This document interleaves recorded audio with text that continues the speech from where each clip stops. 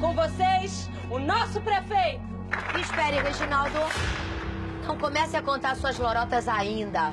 Eu vim saber o que realmente aconteceu naquele motel.